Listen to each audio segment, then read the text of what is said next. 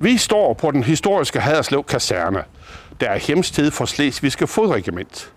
I anledning af årets Haderslev Lysfest er Forsvars Militærpoliti til stede, og vi møder nu Militærpoliti seniorsessant Jan. Af sikkerhedsmæssige årsager anvendes ikke efternavn, men Jan giver os et indblik i MP's virke, både her på stedet og i større perspektiv. Jan, Militærpolitiet er tilkaldt for at yde støtte til Haderslev Lysfest. Hvad er korpsets konkrete opgave? Vores opgave det er at føre tilsyn hernede og så støtte op omkring øh, sikkerheden øh, i forbindelse med arrangementet.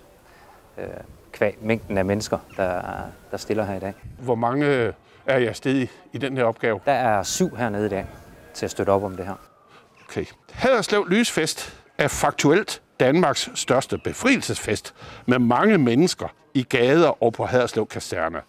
Hvordan opleves MP-enheden denne traditionsrige sønderjyske begivenhed? Det er en, øh, det er en vigtig del af, af militærpolitiet, og kvæg, at jeg havde ikke stået her i dag, hvis det ikke havde været for befrielsen dengang. Og små to år efter, at øh, befrielsen øh, kom, der oprettede man øh, militærpolitiskolen og fik uddannet de første, øh, første MP'er. Man havde set nogle øh, britiske soldater løbe rundt med, med rød bræt, øh, som holdt styr på, på folkene der, samtidig med, at de kunne støtte op omkring forskydninger for enhederne og de ting der med stor succes. Og det, øh, det valgte øh, Danmark heldigvis at kopiere. Øh, så der ved 8. marts øh, 47 fik vi uddannet de første MP'er, som nu her 10. juni, 75 år siden, rullet hen over øh, øh, grænsen til Tyskland på deres første øh, internationale mission. Så, så det er en vigtig del af MP's historie, øh, sådan indirekte. Så derfor øh, bakker vi selvfølgelig op om den. Og jeg spurgte lidt rundt i Aalborg, inden jeg kom herned i dag, om der var nogen, der kan huske, at vi ikke havde deltaget i Haderslev Lysfest. Øh, og det var det ikke. Så i hvert fald de sidste 27 år har vi, har vi været en del af, af den her fest hernede. Okay. Bliver MP anmodet om at yde støtte til tilsvarende begivenheder af forskellige karakterer rundt om i landet? Det gør vi primært for øh, forsvarets egne aktiviteter, som øh, åben hus på, på Hedene Karv øh, og flyvåbens øh, airshow, øh, åbne arrangementer på flådestationer med videre. Lad os få benytte lejligheden til at få opklaret, hvordan skal man skrue sammen for at blive en del af MP-korpset? Ja, det er jo et godt spørgsmål. Øhm, Folk tror, at øh, man går efter de, de hurtigste og de stærkeste og de ting der, men øh, primært så kigger vi på, på personen. At det er en person, der kan, man sige, kan tilsidesætte egne behov for, øh, for fællesskabet, da vi, da vi arbejder tæt sammen ved, med militærpolitiet, når vi er, specielt når vi er udsendt, men også på opgaver som det her, så er vi tit ofte en lille flok, og det skal, det skal fungere imellem folkene. Det er den, den primære, det primære, vi kigger på i opstarten og, og finde de rigtige, øh, der har den evne. Men i forbindelse med optagelsen, der jo, bliver man vel også udsat for både noget, noget intelligensprøve og noget fysisk prøve, kunne man forestille sig? Det gør man. Der er en optagelsesproces, inden de stiller øh, på MP-skolen op i Aalborg. Øhm, og der er cirka 200-300 ansøgere på hver hold, og ud af dem så udpeger vi en 30 stykker på en kommission. Øh, de 30 har været igennem nogle udvidede fysiske prøver og intelligenstest med videre, som du nævner. Øh, og så starter der cirka 30 mand i Aalborg, når vi tager et, et hold ind. Og gennemsnittet, øh, der bliver færdiguddannet af dem, ligger på en 30 til, øh, til 40 procent, øh, øh, som afgår. Og det vil sige, at vi står tilbage med en 15-20 mand, når, på hvert hold. På hvert hold, ja. ja. Ud af brutto 300 ansøgere? Cirka, cirka, ja uddannelsens varighed, og hvordan er den sammensat? Jamen, de, øh, når de er kommet igennem nåløjet, der er det første nåløj, så stiller de i Aalborg på Militærpolitiskolen, og så har de 10,5 måneder på skolen, hvor vi de, øh, de første tre måneder øh, tester deres evne til at arbejde sammen, øh, hvor vi, øh, øh, øh hvad kan man sige, lader dem løbe lidt rundt ude i, i terrænet under nogle lidt urimelige vilkår, øh, og de lærer at arbejde sammen og, og finde sig selv. Øh, og når de så har vist, at de har den her samarbejdsevne og, øh, og noget øh, fysisk ballast som person, øh, det tager cirka tre måneder, så overgår vi til det kan man sige, politifaglige, altså det, som man forbinder med at være, være i militærpolitiet. Øh, så har de resten af perioden der, øh, indtil de så er færdige på MP-skolen og bliver udnævnt MP'er. Men derfra stopper det ikke. Så har vi de yderligere 12 måneder ude ved vores enheder deroppe, inden vi, øh, de kan kalde sig fuldt uddannet øh, MP'er. Hvad er det for nogle enheder? Vi har, der hvor de ender efter militærpolitiskolen, det er det, vi kalder vores landbaserede øh, styrker, hvor de skal ud og, og lære at bruge de køretøjer, panserkøretøjer og våbensystemer, vi har. Øh, så gør vi dem klar der til vores krigsstruktur, hvis man kan sige det sådan. Og når de er færdige der, så bliver de sluset ud i resten af militærpolitiet, hvor vi både har en maritim enhed, der tager med ud med, med flådens enheder, øh, og vi har nogen, der løser almindelige militærpolitiopgaver, øh, som vi ser her i dag, øh, med sikkerhed og fartkontrol og alle de her ting her. Og så har vi en, øh, en enhed, som tager sig af øh, personbeskyttelse, livvagtstjeneste, øh, rundt omkring i, øh, i verden for henholdsvis forsvaret og, og generelt set den danske stat. Militærpolitiet er som regel en integreret del af Danmarks internationale missioner. Hvilke opgaver skal typisk løses? Jamen, det spænder bredt. Øh, vi har jo lige haft et hold i Guinea-bugten med det maritime bidrag, Danmark har sendt ud der. Øh, der var det jo håndtering af, af pirater og efterforskning af, af de sager, der er opstået i kølvandet øh, på det, så man bygger en sag op til aflevering til retsforfølgelse hjemme i, hjemme i Danmark. Så har vi folk i øh, Estland, som løser almindelige øh, kan man sige, militærpolitivirke, altså holder øh, ro og orden på styrkerne, der er der, men samtidig sikrer deres øh, retssikkerhed. Skulle der nu opstå et eller andet, jamen så er vi der til at på grund grund at tage over og sørge for, at alt foregår til soldatens bedste. Øh, så har vi øh, folk i øh, Irak på en øh, livvagtsmission dernede for, for chefen for, for NATO i Irak, øh, der er på vej hjem nu her øh, og kører 24-7 øh, beskyttelse af, af ham. Okay. Uh, tidligere, der havde hæren sit militærpoliti, søværn havde sit militærpoliti, og flyvåben havde sit militærpoliti. Nu er det blevet såkaldt værnsfælles.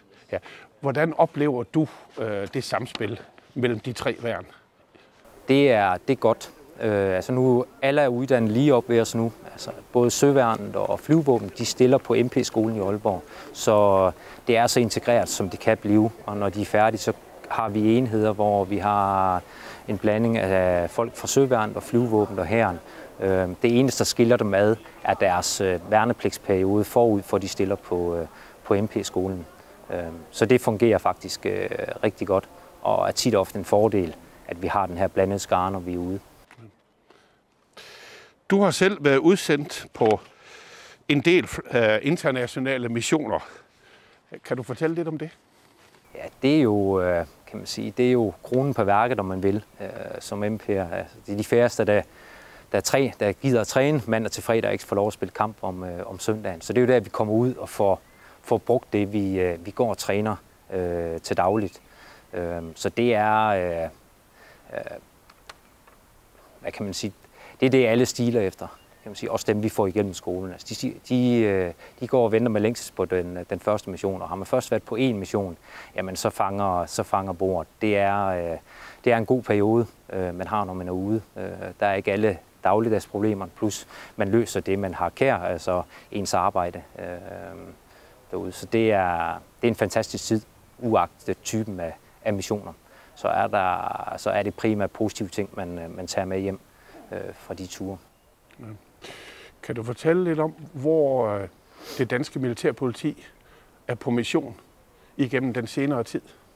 Øh, ja, vi har som sagt øh, Irak er, er nævnt i forbindelse med, øh, med, med livvagtstjeneste personbeskyttelse, hvor vi også har en, en mindre MP-station nede til at, at støtte de danske soldater med, med de ting, der nu kunne opstå i en, i en lejr, og når folk er samlet på et lille, lille område over længere tid.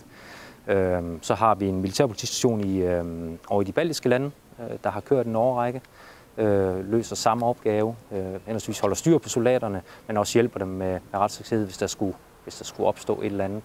Og så har vi lige, øh, som, som man har fulgt med i pressen, sendt en større styrke til, øh, til hvad hedder det, Letland i forbindelse med, med den oprustning, om man vil kalde det, øh, der foregår derover. Og det er lidt unikt, det vi ikke set i nyere tid. Der skal de løse både den MP-faglige, altså MP-stationen holde styr på soldaterne, samtidig med at de indgår i krigsstrukturen derovre, så fremt man vælger at, at deployere, kan man sige, længere mod, øh, mod øst. Så overgår de til med deres øh, pansrede køretøjer og våbensystemer til at være en integreret del af, af den bataljon, der nu er indsat derovre.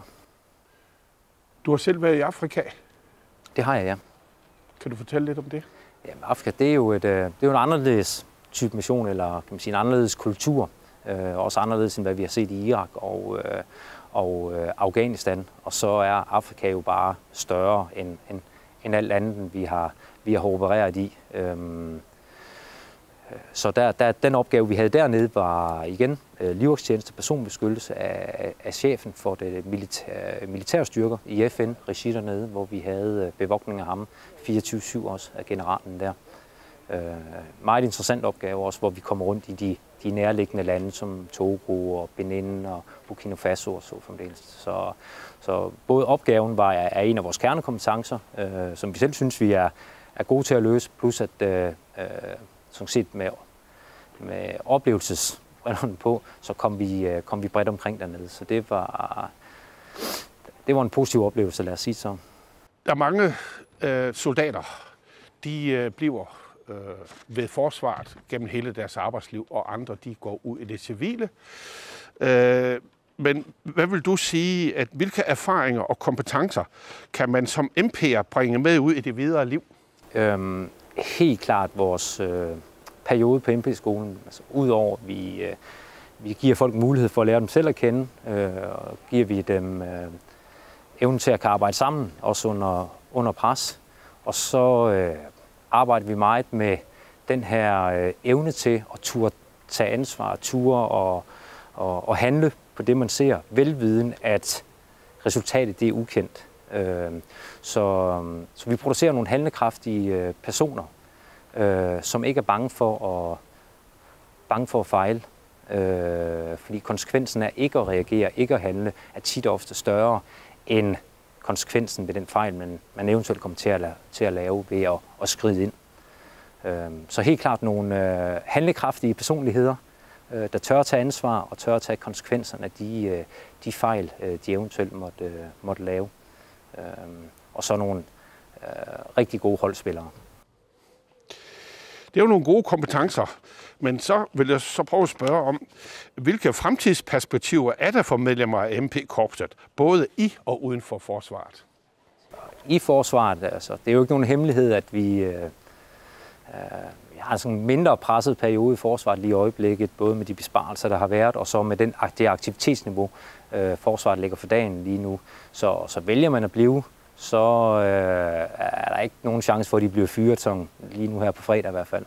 Øhm, og igen, som, som nævnt før, altså uden for forsvaret, så, så kommer de, øh, de kommer fra militærpolitiet med nogle rigtig gode kompetencer, øh, nogle rigtig gode personlige øh, egenskaber, øh, som øh, med stor succes er blevet brugt ud i det, det civile erhvervsliv.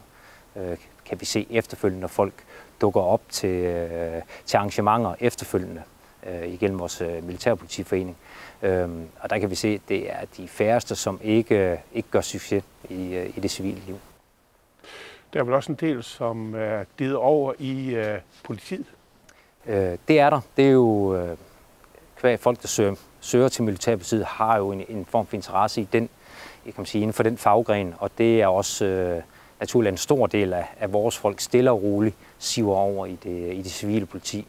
Øh, og en del af dem øh, fastholder kontakten med militærpolitiet i form af nogle øh, reservekontrakter, hvor vi, øh, vi trækker på dem i øh, belastningsperioder. Øh, så selvom man er ind i det civile politi, så ser vi stadigvæk en stor del af dem støtte op øh, til enkle, enkle ting i forsvaret ved militærpolitiet. Så det er, det er vi lidt stolte af også, at kan fastholde personel efterfølgende. Okay. Her til slut, hvad er dine egne fremtidsplaner? Jamen altså, hvis I lover, at lysfesten den fortsætter hernede, så tænker jeg også, at vi kan have den samtale her igen, øh, hvor jeg står i det tøj her om 10 år også. Så, øh, så jeg smutter ingen steder. Det er, det, det er arbejdet for godt til.